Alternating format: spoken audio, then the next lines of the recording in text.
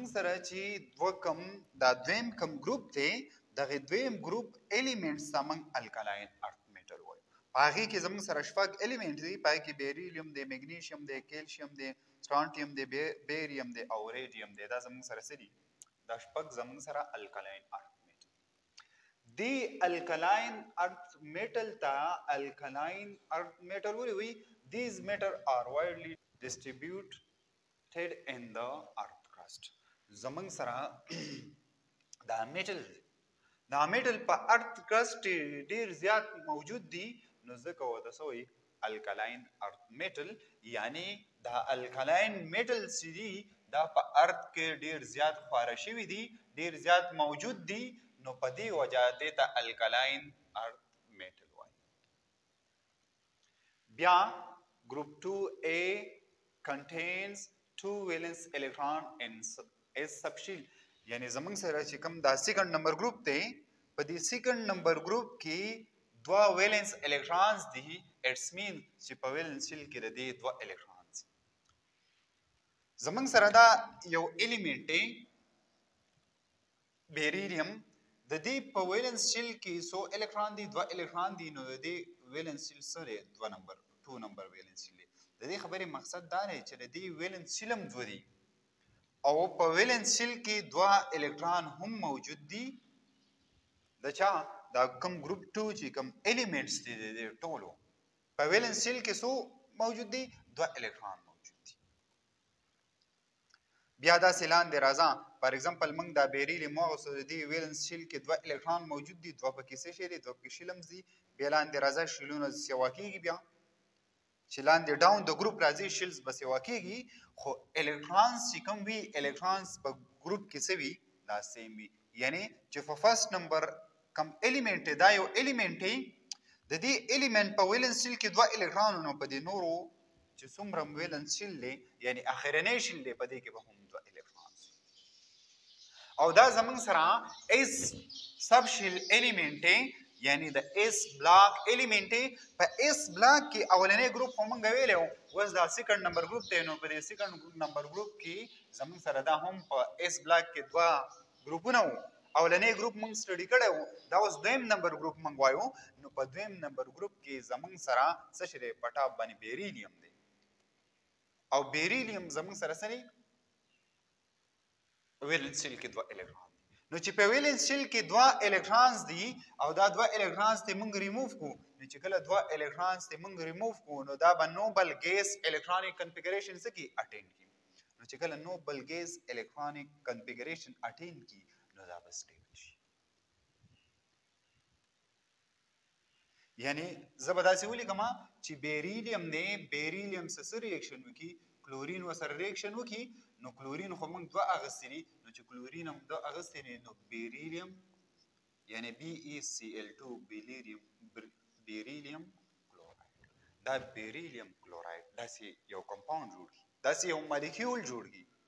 نو چې دا مالیکیول جوړ کو د دې په ویلنس شیل کې دوه الکترون او دغه دوه الکترون دی لاس کړو نو چې دوه الکترون دی لاس کړو د دې په ویلنس شیل کې فار ایگزامپل دا دوه الکترون تر مو شو د په ویلنس شیل کې بیا دوه الکترون پاتې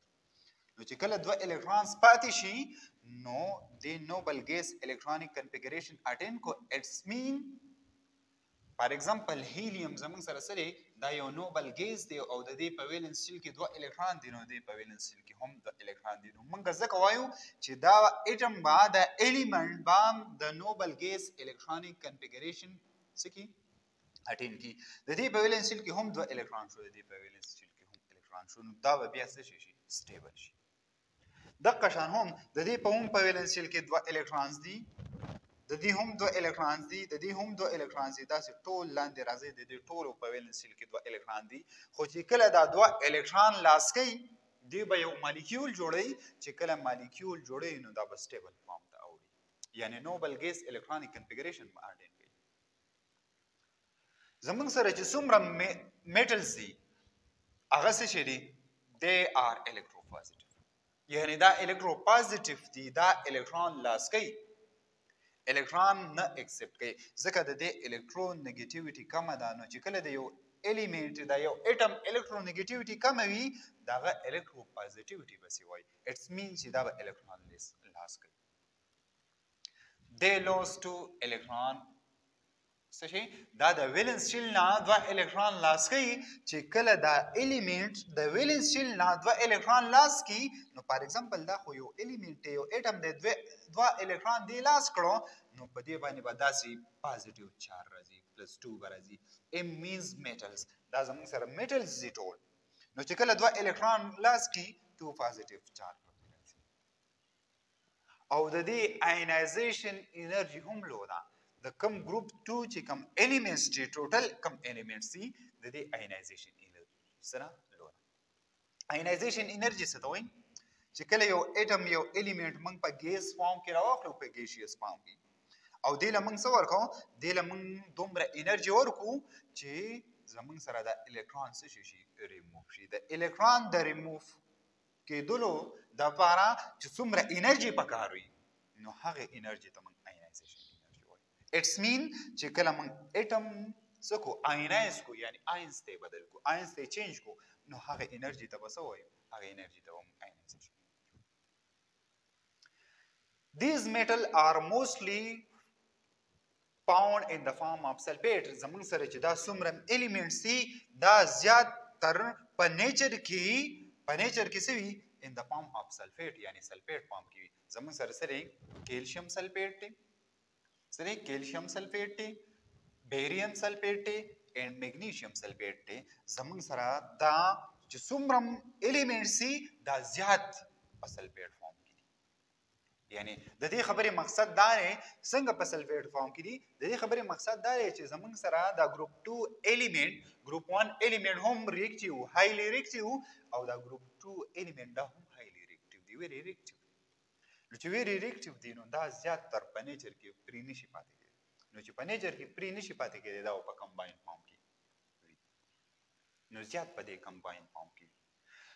نو دا ټول الیمنټ ریکټیو دي نو چې ریکټیو دي دا په کمباین پام کې وي زیات به کم پام کې وي کیلشیم سلفیټ بیریم سلفیټ ان میګنیشیم سلفیټ زیات په دې فارم کې د دې سیکنډ نمبر ګروپ دا زمونږ سره سره د اټامیک نمبر دی خو اوس د دې سیکنډ نمبر ګروپ مونږ یو ټریک دغه کو چې آیا دا سیکنډ نمبر ګروپ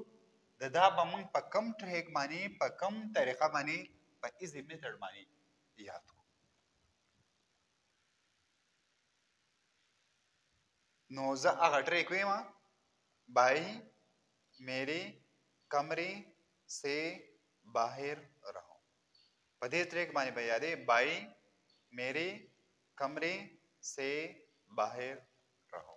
په دې ټریک باندې به تاسو دا ایلیمنټس داسې لاندې په ګروپ کې یادوئ نو دا ډیر ایزی میتھډ دی دا ایزی میتھډ د ځان سره یاد ساتئ د دې نه بعد موږ اکرنس وایو چې آیا زموږ سره دا الکلاین ارت میټل د دې اکرنس سره دا په کوم ځای کې موجود دی په نیچر کې دا شته که نشته دا خبرې پوس کوم زمونږ سره اکرنس یعنی د الکلاین ارت میټل دا هایلی ریکټیو دی ما دلته دا خبره وکړه چې دا هایلی ریکټیو دی نو چې هایلی ریکټیو دی they do not occur in free state په نیچر کې زموږ سره دا په فری سټیټ کې نشته په نیچر کې په فری سټیټ کې زموږ سره نشته چې دا میټلز زموږ سره څومره میټلز منګه ویل دا شپږ میټلز منګه ویل په دې ګروپ سیکنډ نمبر کې چې په دې ګروپ سیکنډ کې موږ دا شپږ الیمنټس موږ ویل د دې خبرې مقصد دا و چې زموږ سره دا الیمنټس زموږ سره څه دي لو اينايزيشن انرژي دا او هايلي ريکټیو دی نو چې هايلي ريکټیو دی دی ډو ناټ فارم ان فري سټیټ اټس مين چې دا زموږ سره دی ډو ناټ اکر ان فري سټیټ دا په فري سټیټ کې نشته نو چې په فري سټیټ کې نشته دا په کوم پام کې لکه اوس دی خو وګوره دا په کمباین فارم کې زمونږ سره بیریلیم دی بیریلیم دا زمونږ سره ډیر زیات کم دی په نیچر کې ډیر انتهایی کم دی په نیچر کې خو دا بیریلیم زیات په کم فارم کې وي بیرایل فارم کې وي کم فارم کې وي بیرایل فارم کې وي بیا زمونږ سره میګنیشیم دی ان کیلشیم دی میګنیشیم او کیلشیم دا زمونږ سره په ارت کرست کې ډیر انتهایی سیوا دي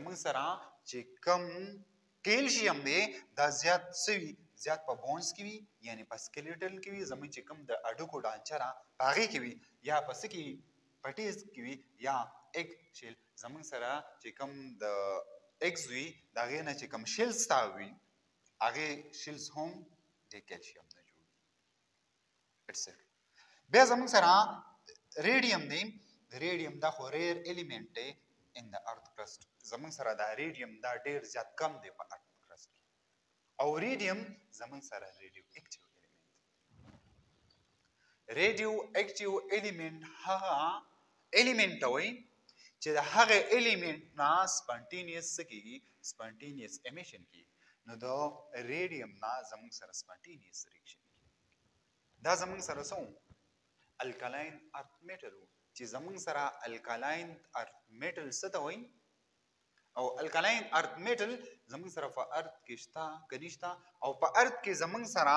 یعنی په نیچر کې زمون سره د الکلاین ارت میټل د فری سټیټ کې دي په کمباین سټیټ